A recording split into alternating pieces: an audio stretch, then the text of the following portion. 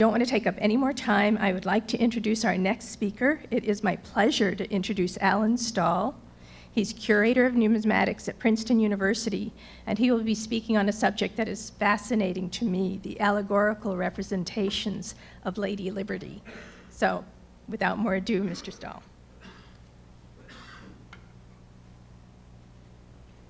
Are you familiar with the just forward and backward?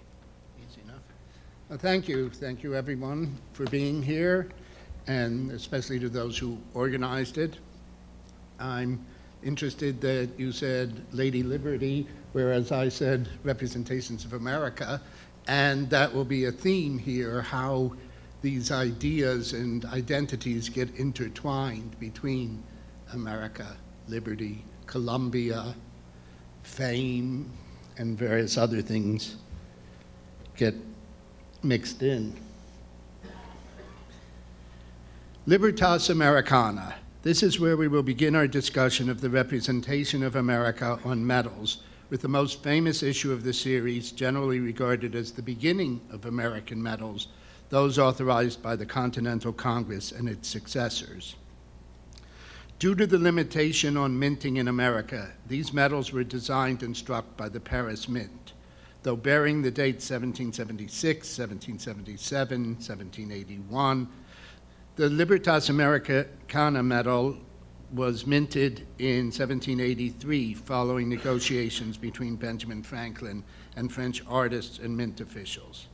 This Princeton, Princeton example is an original bronze striking gilt at an unknown time. The obverse portrays the goddess Liberty with the pileus cap on a staff behind her. The reverse portrays Minerva bearing a shield with the arms of France holding off a lion from attacking the infant Hercules, who is entangled with snakes. Three medals of the Comitia Americana series, represented in Princeton by bronze lead casts, show three heroes of the Revolution affronting a bare breasted woman with an Indian bonnet, in two cases receiving a laurel crown of victory, and in the third, a palm branch, also a classical symbol of victory. In all three cases, the Indian woman has a shield with 13 vertical stripes by her feet, accompanied by an alligator in the case of the Stony Point medals, and in the cowpens, one a, a fasces, a trumpet and cannons and standards. The final medal in the series is the diplomatic medal, instituted by Thomas Jefferson to serve as rewards for foreign officials who had aided the revolution, and produced in France three years after the French Revolution led to the end of many of the officials who were to receive gold examples.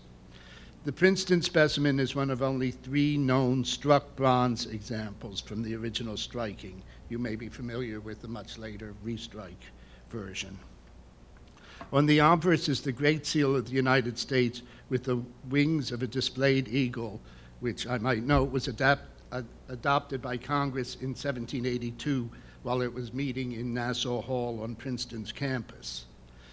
The reverse depicts the Indian princess seated, seated holding a cornucopia, which is a symbol of plenty and will get attached to the symbol of America, with Mercury holding his caduceus, a stag with a staff with entwined snakes, again, will become associated with America and surrounded by the implements of commerce. And Mercury is generally taken as a symbol for commerce. Many of the symbols on these medals can be traced back to classical mythology and to ancient coins. The figure of liberty with a hat and staff goes back to the Roman practice of manumission, in which a slave was touched with a staff at the moment of liberation and given a specific hat to wear as the sign of being a freed man. The hat in question was the pileus, derived from that worn by the twins or Dioscuri, Castor, and Pollux, who were the offsprings of a union between Jupiter and Leda the swan. They, of course, hatched from eggs and as they emerged from the eggs, the top of the egg stuck to their head and became their cap, the distinctive pileus cap of the Dioscuri, which then becomes the Liberty cap.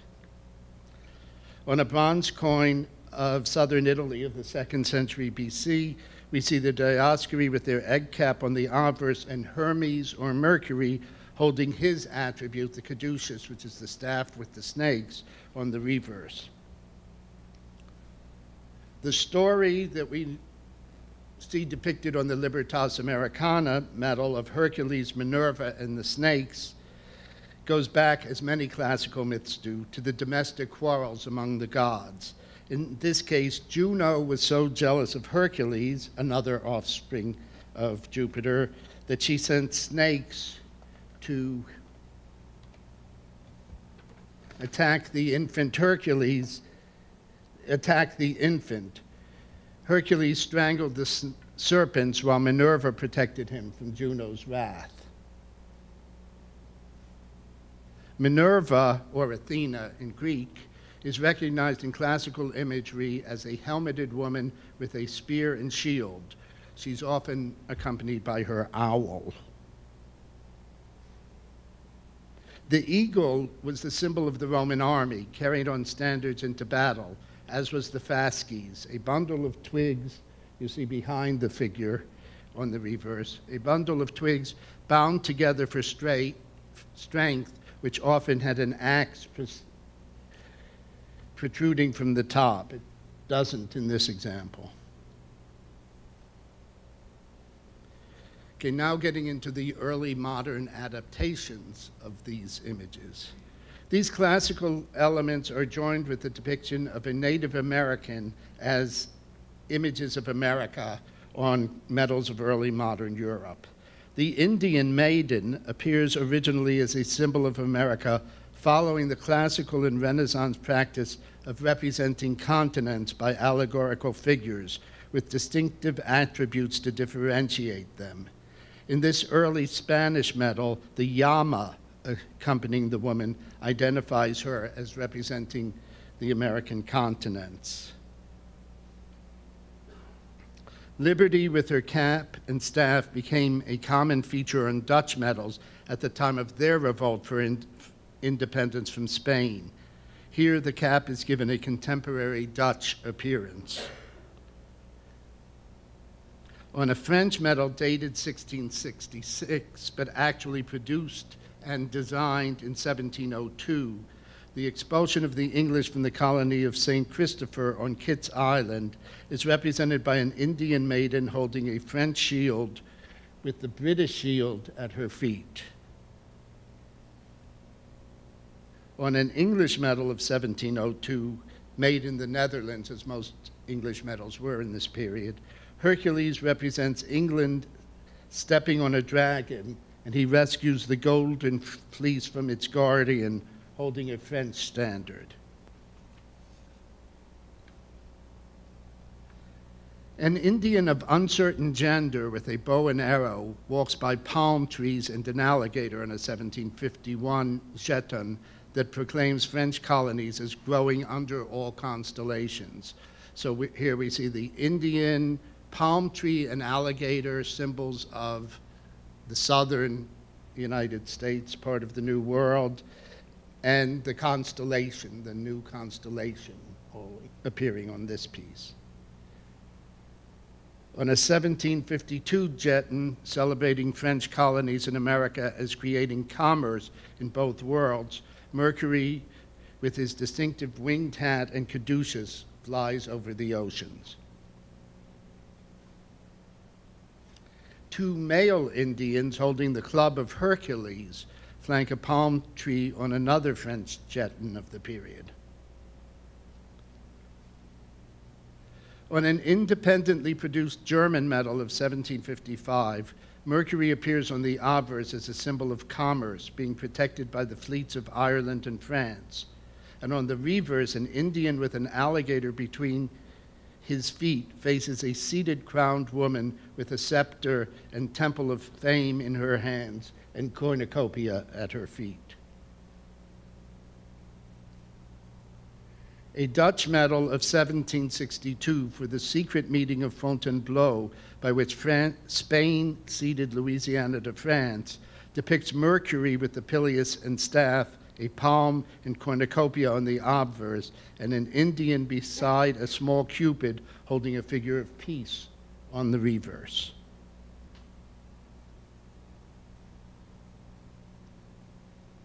A badge of 1766 for William Pitt, who was viewed as a friend of the American colonies, depicts a liberty cap on the tip of a sword behind the shaking hands of Britain and America.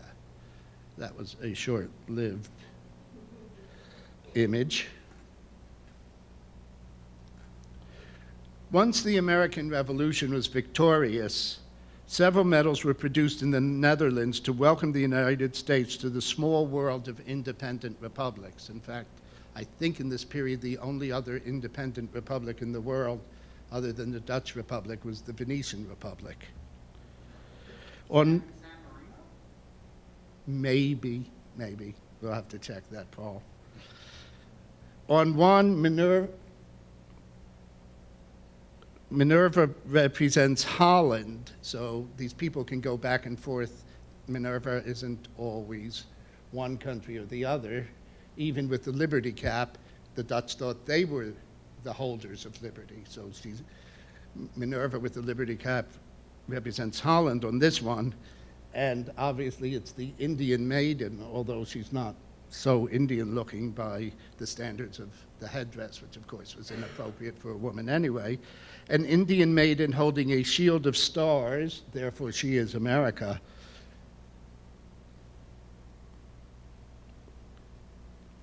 With a Dutch styled liberty cap flanking an altar with the caduceus of Mercury symbolizing commerce and the cornucopia symbolizing plenty. The Indian maiden is crushing a lion, which always represents England, beneath her feet. Another medal for the same occasion is the female figure of Holland, seated with the pileus and staff behind her, receiving an olive branch of peace from a male figure identified as America by the flag he bears and the barrel of corn, that is American corn, not wheat, behind him. This is one of the few male allegorical figures of America we shall encounter. In general practice in the classical world, allegorical figures were female. A caduceus is on the reverse behind laurel and palm branches, symbolizing victory. On a medal of the province of Friesland or Frisia for the same occasion, an armed Frisian man turns to an Indian maiden with a scepter and chains at her feet, about to receive a Dutch hat from Cupid, as he turns away from a figure of Great Britain with a leopard to her left and a serpent behind her shield. A German medal for the Peace of Versailles, which we commonly know as the other Libertas Americana medal, shows Louis XVI of France pointing out a shield of 13 horizontal stripes hanging on a pillar topped with a Dutch liberty hat to a draped female with no identifying attributes. On the reverse, Minerva holds the shield of the main European powers, and on the ground is the aegis, which is the shield of Minerva, which bears the head of the slain Medusa.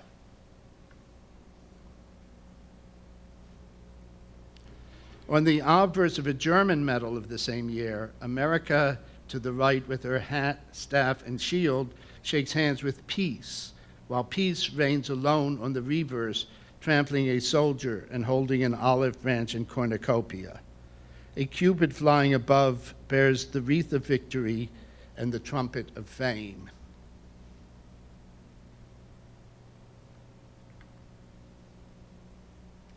On a crude white metal piece from the same year, a dove flies from the, a seated Britannia to an armed Indian maiden on the obverse in front of a landscape of London, while the reverse bears the linked chain of American states that had first appeared on paper notes of 1776 printed by Benjamin Franklin. Now, you can wonder how Franklin and Jefferson knew all these symbols when they started negotiating with the French Academy for how to represent the various things on the Comitia Americana medals. Well, it's not necessary that they did know all the ancient coins and medals, although the American Philosophical Society in Philadelphia by this period had quite a good collection of ancient coins, and I think also some recent medals. Uh, on the one hand, the Académie des Inscriptions in France was founded and charged with the specific purpose of inventing allegorical images, and they certainly knew the whole canon of appropriate symbols. On the other hand, there were these popular books, such as this one, Antiquity Explained, which I think was in Jefferson's library and certainly available to Franklin as well, that explained all the various classical imagery. And here we see uh, the various images of liberty being depicted here.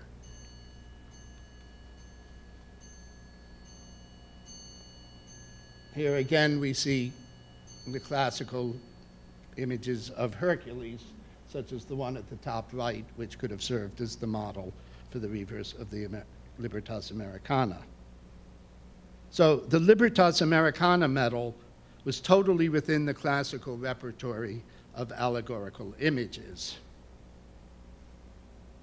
The diplomatic medal included a combination of classical and more recent motifs. The obverse seal combines the heraldic eagle with the shield of 13 stripes and 13 arrows, and 13 arrows, as well as the new firmament of stars of the New World skies. The depiction of the heraldic eagle was well known through not so much books of classical antiquities, but emblem books, very popular in the 16th century and on into the 17th and 18th. And here we see as a symbol the eagle with the spread heraldic wings, the thunderbolt and olive branch in his talons from a book published in 1712. Now, on the reverse of the diplomatic medal, we see the Indian maiden, which was an invention of the early modern period as a symbol of America.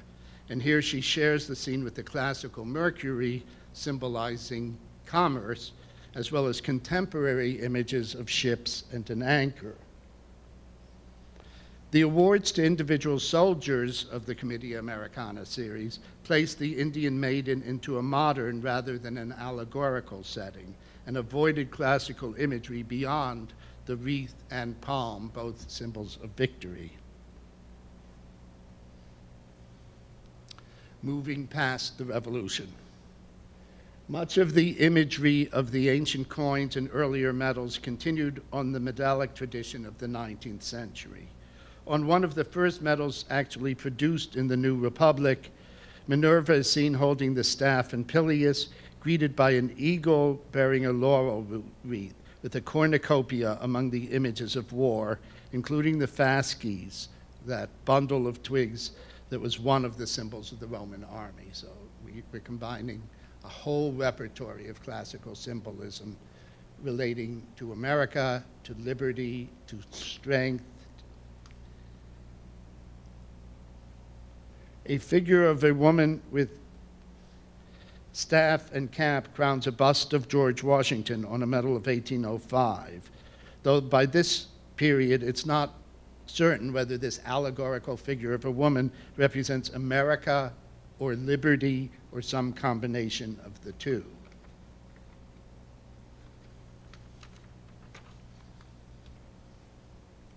On a later piece attributed to Moritz Fürst, known only from Uniface trials, the bust of Washington is flanked by a male Indian with bow and a classically dressed female wearing a helmet and holding a spear. Her identity is not clear. She, the helmet is certainly not that of Minerva. On the reverse of another Fürst piece, an allegorical female figure representing America holds a staff and shield with stars and stripes and crowns a military trophy. On another Fürst medal, known only from Uniface shells, the seated figure appears with the balances and swords of justice, another attribute, allegorical attribute. The balance always indicates justice. But she's flanked by an eagle and shield with a plowshare and ears of American corn behind. None of these pieces is the figure specifically identifiable as America or liberty. The reverse legend of the John Quincy Adams Medal by Fürst declares that science gives peace and America plenty, which it illustrates with Minerva presenting an olive branch to an Indian seated, sitting on a cornucopia. Presumably, Minerva represents science or wisdom, but the eagle, rather than the owl behind her, suggests that she represents America as well, as of course does the Indian.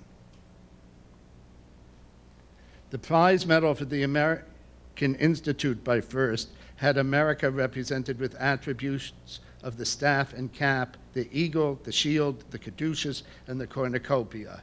There are also representations of contemporary objects of industry and commerce.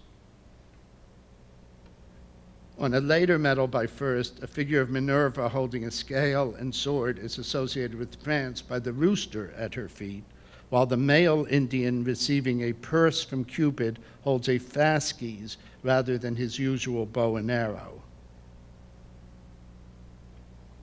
On a medal of C.C. Wright for the American Art Union, the allegorical figure of America is identified only by the striped shield she leans on.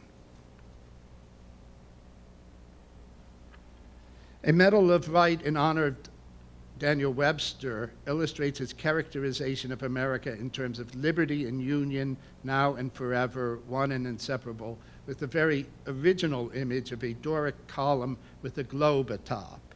The only traditional imagery re representing America is the shield beneath at the tie of the wreath.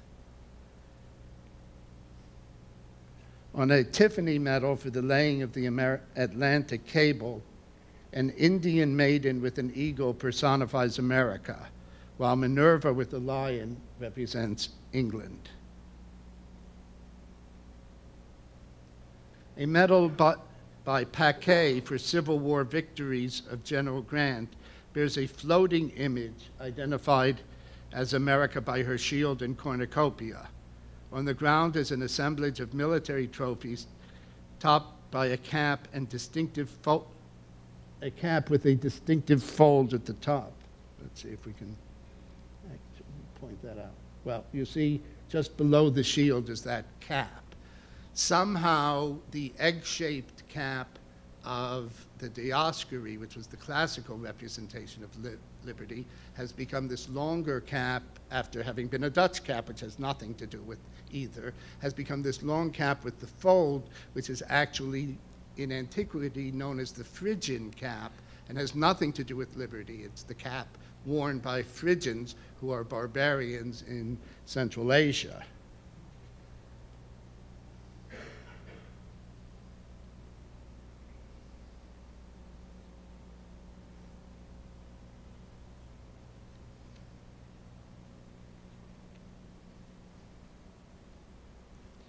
On the reverse of Paquet's Indian Peace Medal of 1865, an Indian in a classical cloak with traditional native implements behind him shakes hands with a classically robed woman holding a United States flag with modern objects at her feet and a little train running behind her. On a life-saving medal by Paquet, the long-haired figure crowning the sailor in the reverse is identified as America by the eagle atop fasces at her side. William Barber's Centennial Exposition Medal contrasts the America of 1876 on the obverse, identified by her shield and with a sword tucked behind her, crowning representations of industry and art, with the America of 1776 on the reverse, with her sword drawn, motioning to the firmament of 13 stars. At, on Oscar Roty's medal for commemorating the gift of the Statue of Liberty from France to the United States, the woman in the boat with stars circling her forehead has to represent America. So the one with the Phrygian cap is the image of Marianne, a symbol of France that Roty was introducing at that period onto the French coinage. The Cupid in the boat likewise sports a Phrygian cap. Now, it's with this medal, and of course the construction of the Statue of Liberty, that the Statue of Liberty begins to replace all the old allegorical figures as the figure of America. Now, the figure of liberty designed by Bartholdi was based on the classical figure of a, the male sun god Helios, the distinctive attribute being the radiant crown. Now, here on this Roman coin, he holds a globe symbolizing the earth, which gets replaced by the torch in the Statue of Liberty, which then again becomes a symbol of America. The large bronze cast medal of Augustus St. Gaudens for the centennial of Washington's death used the fasces on the obverse and the eagle on the reverse as stark, simple images to represent America. On his design, on his, that is St. Gaudens's design for the reverse of the Columbian Exposition Prize Medal, St. Gaudens chose to represent America on the reverse as a male youth holding a torch made from fasces, combining the torch now with the fasces, and a shield with an eagle, an American shield, and a laurel branch on it. Notice there's a shield on a shield there. Now, as you all know, that was rejected for various reasons. The adopted revised reverse by Barber kept the flaming fasces and added two winged female figures with no specific American attributes that I can identify. One has the horn of fame. A souvenir medal of the exposition has its, on its reverse two allegorical figures. The standing one has something on her head that might either be an Indian headdress or the radiant crown of the Statue of Liberty while the seated one holds the American, holding the American shield has a turreted crown. Now, a turreted crown, that is a crown representing the walls of a city, in classical imagery always represents a city. So that she may, the seated figure may be representing Chicago. The e eagle flies above a rising sun whose rays recall those on the firmament of stars on earlier medals, as well as the crown of the Statue of Liberty. And it's in this period that the rising sun becomes a symbol of America, whether it's derived from the radiant crown of the Statue of Liberty or the older image of the firmament, of new, the new firmament, that is, the stars as seen from the Western Hemisphere, is not easy to determine. Another Columbian medal depicts on its obverse an Indian man representing America grasping hands with a woman who is probably supposed to be Europe with an eagle below the bust of Columbus and a globe above. On the complex scene of the reverse, a winged female with a star above her head is borne aloft by cupids holding respectively a torch, a caduceus, and a cornucopia the whole scene observed by an Indian below with a rising sun behind. On the award medal for the Pan American Exposition of 1901, there are two symbolic Indians on the obverse, the one on the left representing South America in Incan garb, and the one on the right representing North America. While the nude female with a billowing drape probably represent on the reverse probably represents America in general, and the buffalo probably represents Buffalo.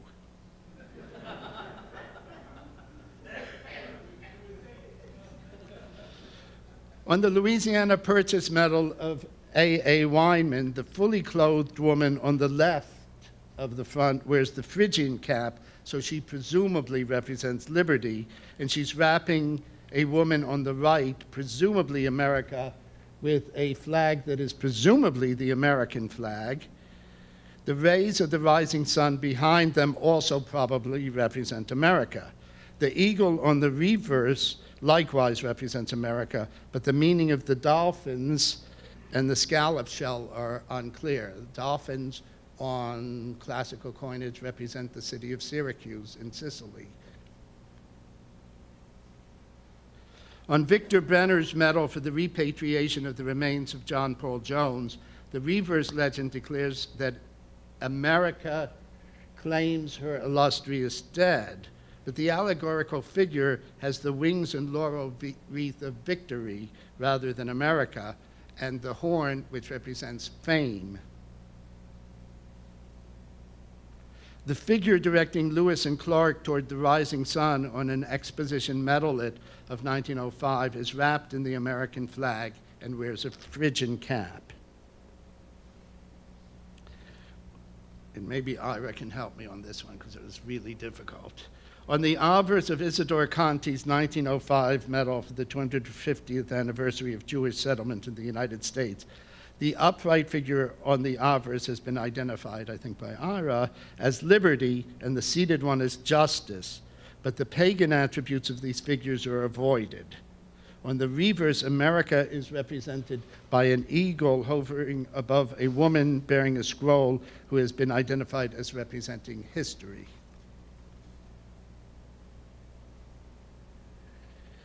The figures on the obverse of Emil Fuchs's 1906 medal for the Hispanic Society of America represent literature and art seated before a rising sun. The turreted woman on the reverse instructing a youth may represent New York. Remember, turreted is supposed to mean city.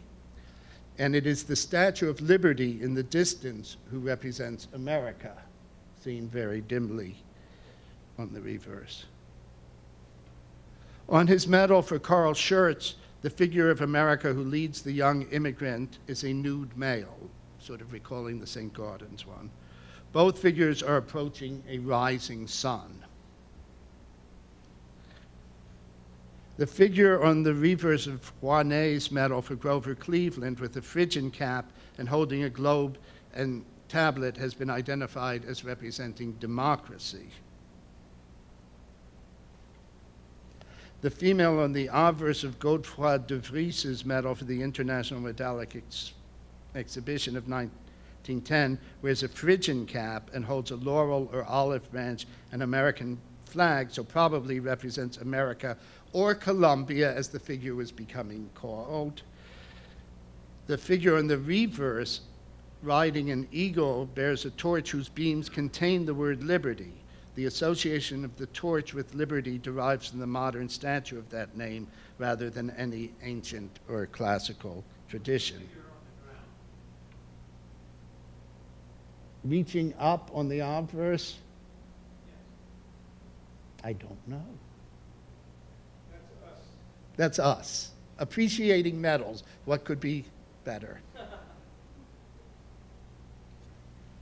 Another new representation of America is in the guise of Uncle Sam, appears on the medals of Carl Goetz, who derived much of his imagery from popular culture rather than from classical typologies.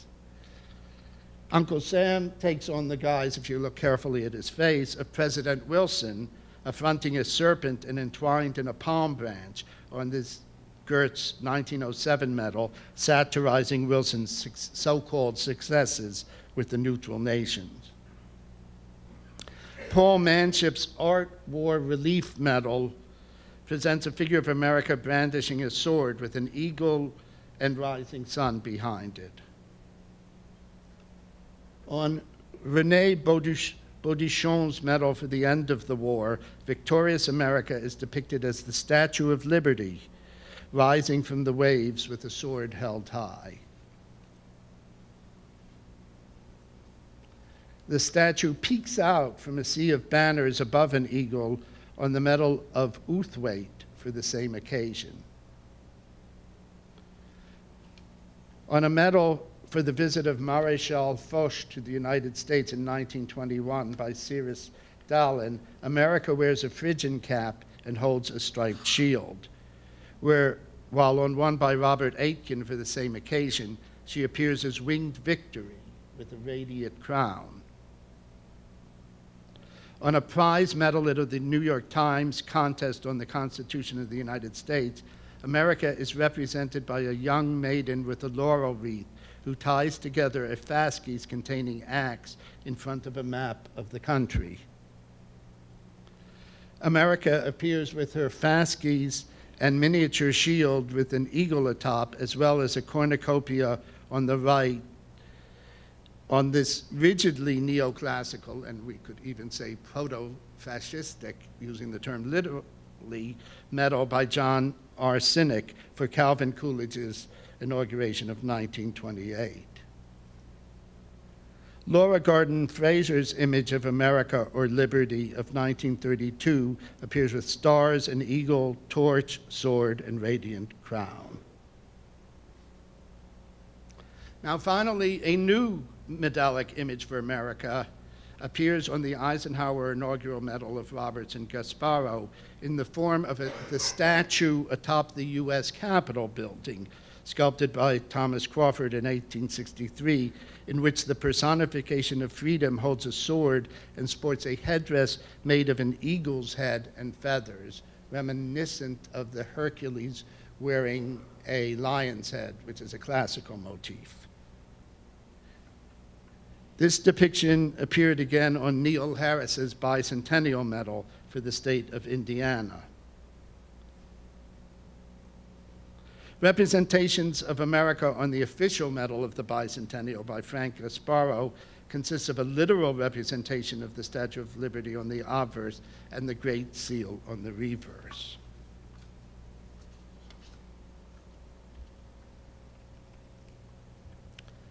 One of the few medals since then to attempt a symbolic representation of America is that of the State of Israel for the Columbus Quincentenary, which accompanies the Statue of Liberty with images of New York buildings and, as a final indignity, a bottle of Coca Cola.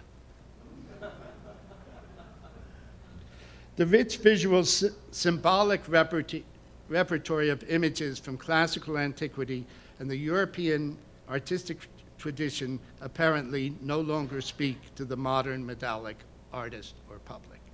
Thank you.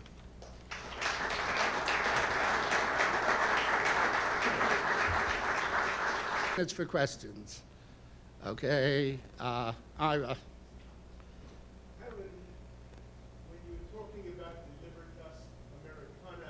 earlier medals, you ascribed the selection of the visualization to the patrons.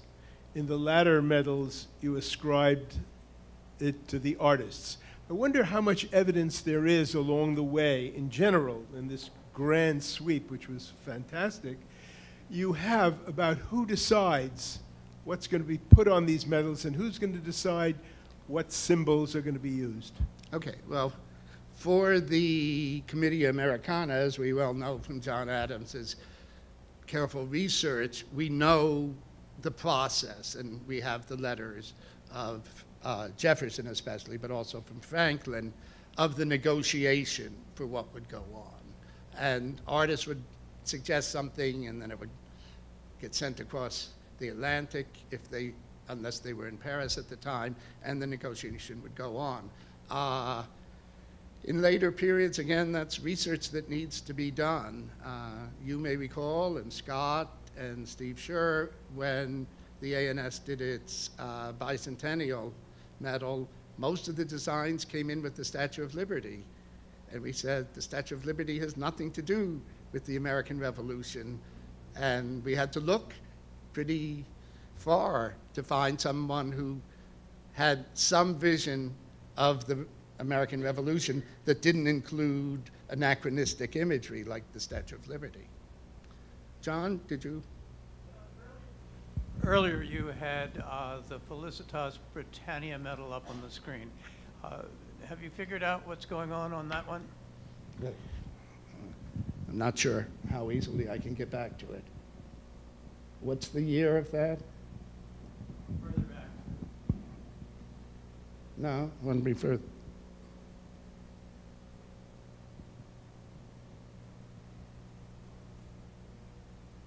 This one? No.